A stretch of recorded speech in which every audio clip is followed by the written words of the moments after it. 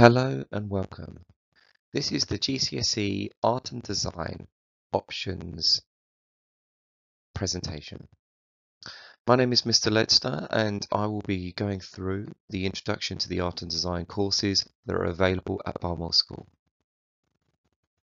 At Barnwell School we work with the AQA exam board for GCSE Art and Design.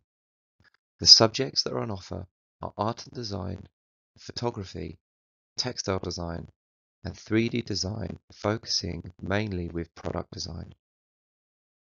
It is worth mentioning that when choosing these options that you will only be able to have one of these options plus photography. This is including the NCFE graphic design course. The art and design specification for all of these subjects is split into two different areas. The portfolio is worth 60% of your final grade.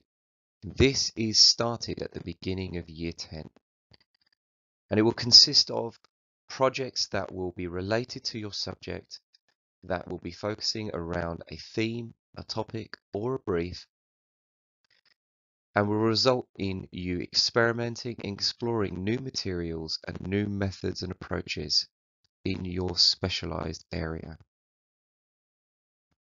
Each subject will have a way of presenting your work, whether it be through sketchbook or a digital journal, but not forgetting that through 3D product design, you will be focusing around creating models and maquettes that will complement your design work. In the art and design specification, within the four subject areas, you are assessed with four assessment objectives. Assessment objective three is focusing on drawing and annotation. This is very important to understand as you will be focusing in ensuring that you write about your work your opinions, and you record in the way the exam board requires. The second part of the art and design specification is the external set assignment. This is worth 40% of your final grade. An exam paper will be given to the school in January of year 11. And over a duration of time, you will focus on a topic, an issue, or a brief for a preparatory period until you work in an unaided and supervised time of 10 hours. All work, including your portfolio and your external set assignment, is assessed by your teachers and marks are sent to the exam board by the end of May.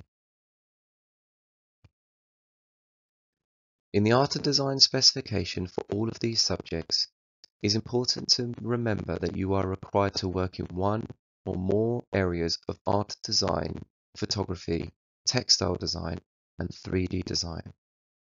The areas of study are listed on this slide. The Art and Design course at Barnwell School enables students to explore a range of fine art media techniques and processes.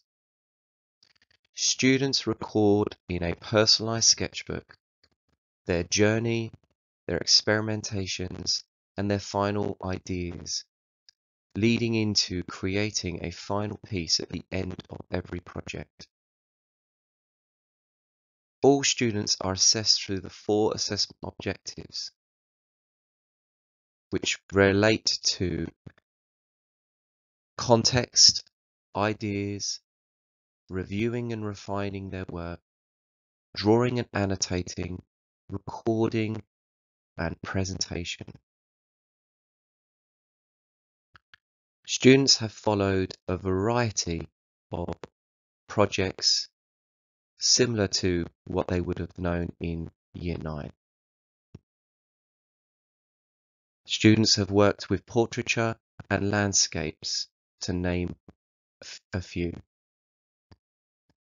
They also show some understanding of color, line, pattern, texture, space, rhythm, and other elements that are relevant to the art and design course.